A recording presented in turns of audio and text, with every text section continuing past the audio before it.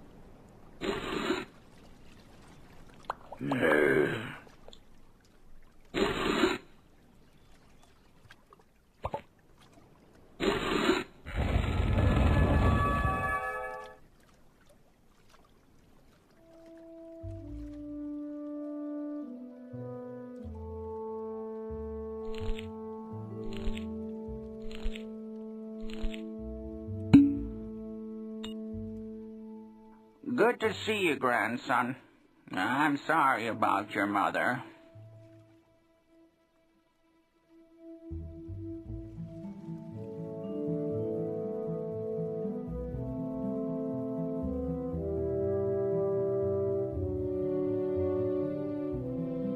My dear son, please, I'm thirsty.